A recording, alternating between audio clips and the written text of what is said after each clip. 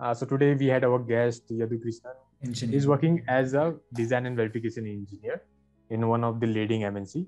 Uh, he will be sharing his insight, how he got the job, and what are the skills that required for the jobs, and uh, what are the things you need to care of to get a dream job in a VLSI company. So let's start. And uh, so, hi Yadu, how are you? Uh, hi Ajay. Uh, yeah, I'm doing great. How are you? Yeah, I'm, I'm also absolutely great. Please introduce yourself to our audience so that they will get to know more about you. Yeah, sure. Yeah, so uh, as you know, my name is Yadu Krishnan, and uh, right now I'm just working on one of the reputed company called Ceremorphic. Uh, So it's basically it's a US based company, and uh, the working location is Hyderabad. So I'm working as an a digital verification engineer in that company, and uh, I have done both my BTech and MTech from Amrita University, Kerala. And later, I had a chance to do one year internship in uh, another uh, VLSI company called AMS Semiconductors. And later, I just moved to uh, Jio, Reliance Jio. And right now, I'm here in this particular company. That is great, man. You have worked for three different companies and three different multinational companies. So you have Yeah, been a right. great experience for, in these three companies. So, like uh, talking about your first company where you have done your internship. So, Yeah. like how you got that? Yeah, basically, uh, that was through my college only. Like, uh, it, it wasn't just an internship experience. And uh, even though we were into internship, ex- internship, like uh, we we were working in the real time project, and Samsung was the one of the clients.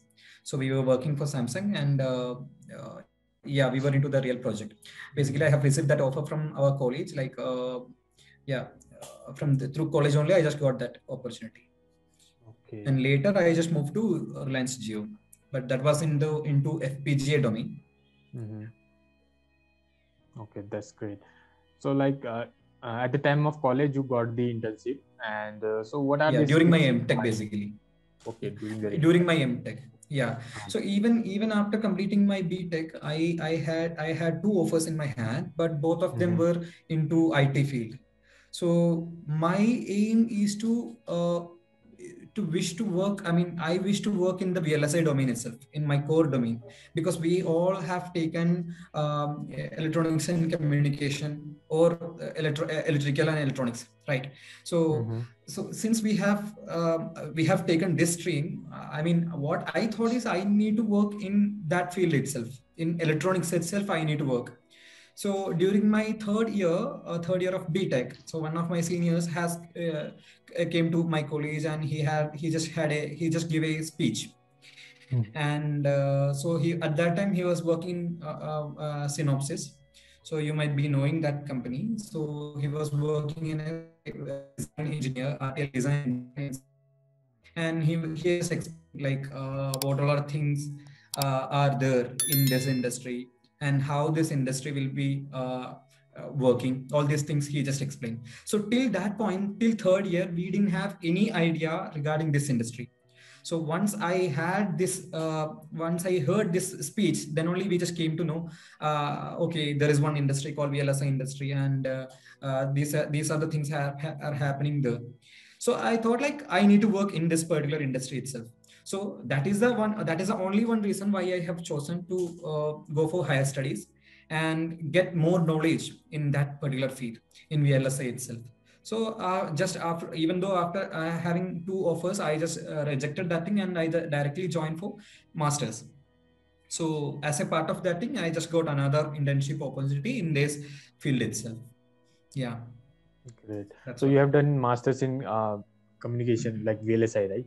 VLSI design. Yeah, it's in That's. VLSI design itself. Yeah. Yeah. Mhm. Okay. So like uh, getting into the VLSI field is very hard, right? So what are the skill set and what are the things required to get the VLSI field? Okay. Yeah. Uh, what I'm thinking is, uh, like it's, uh, I mean, it's not like what all are things you uh, you know like i mean you need to Mhm. know all the things. It's not like that. Because the electronics industry or vlsi industry itself is a huge ocean we can tell.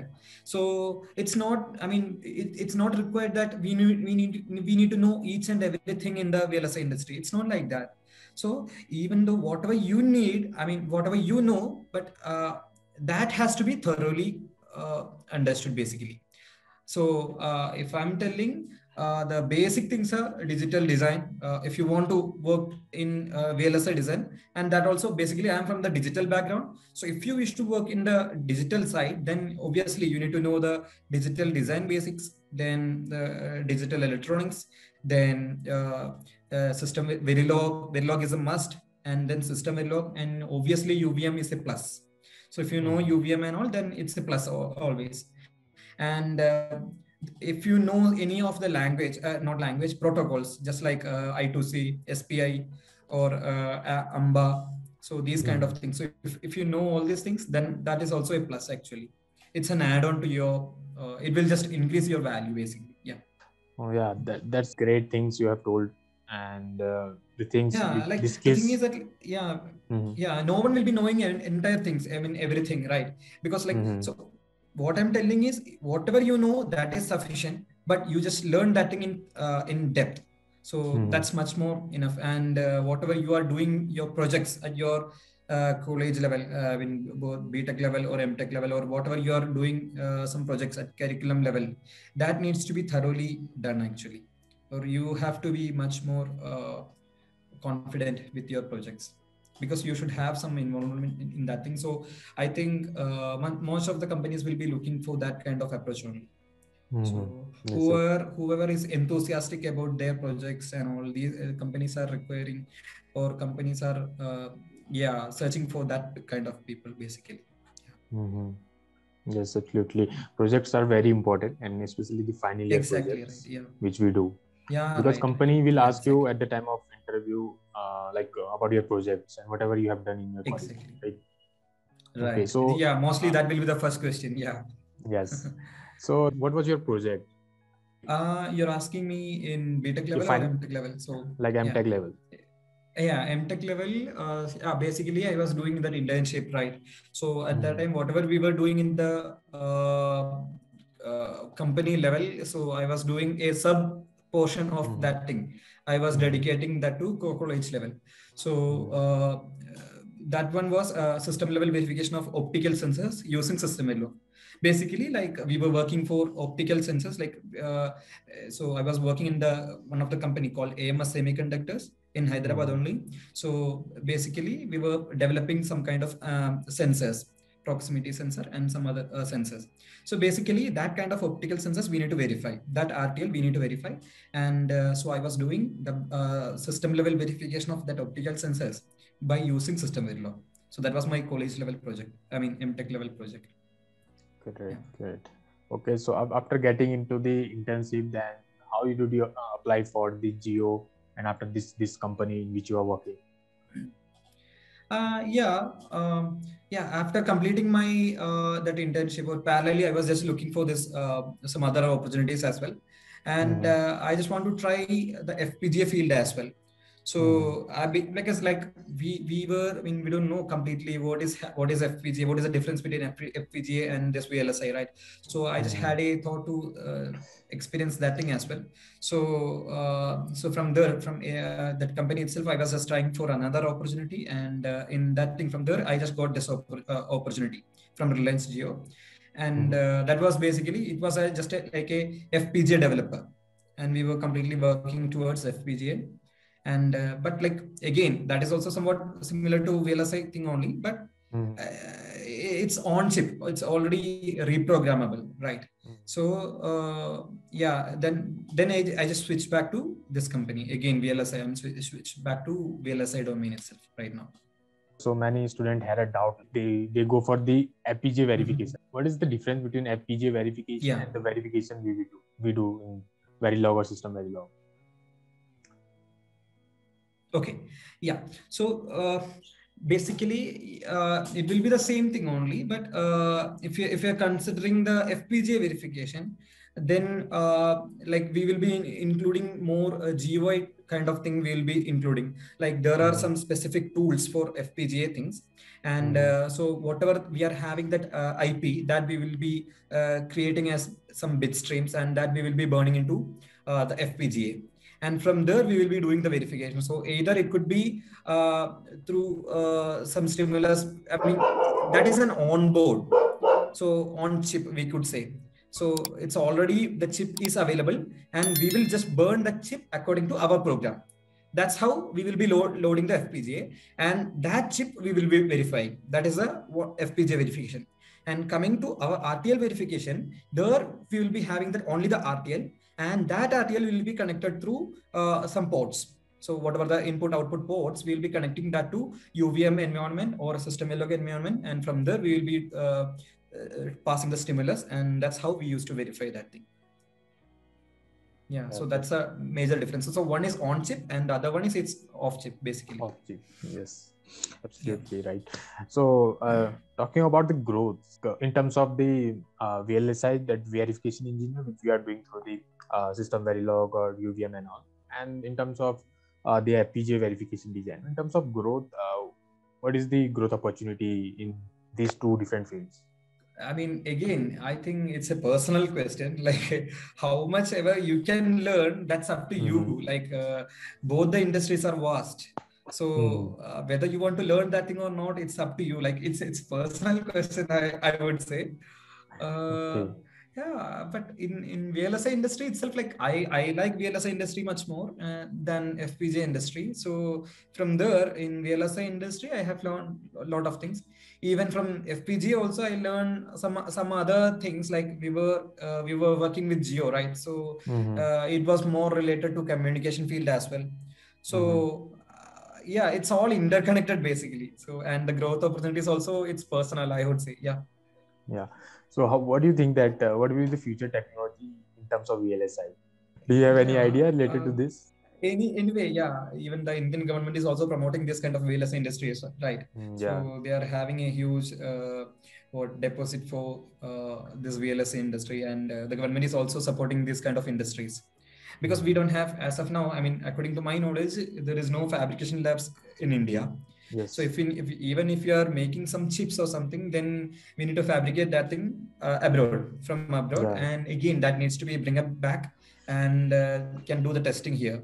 That's how we used mm. to do. So uh, I think the government is also supporting this industry much more. So there will uh-huh. be plenty of opportunities in this field. Like um, many more companies will be coming to India, and uh, there's a opportunity. I mean, there will be probability to get much more job opportunities in this uh, field. That's what i i think.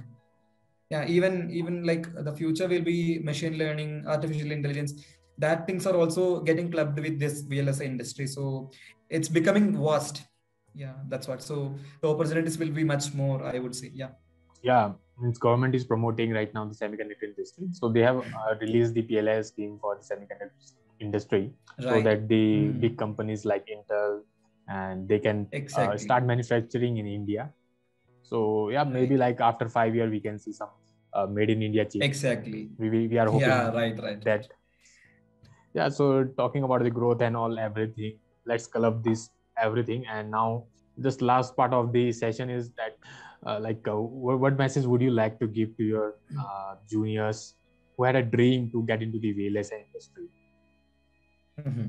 Yeah yeah first thing i would say is like uh, just fix your aim like uh, whether you want to come to VLSI industry or some other industry that you just need to fix.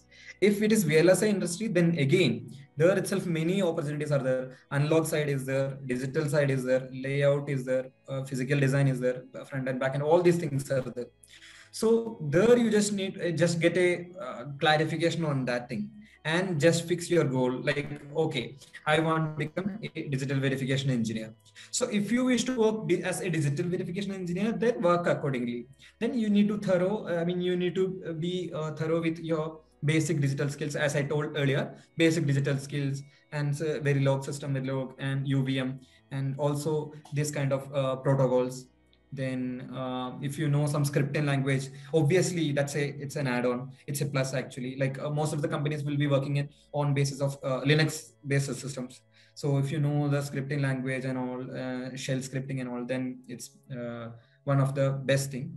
And uh, what i'm telling is like whatever you know that i mean you need to be thorough with your project and the basics. That's what i would say.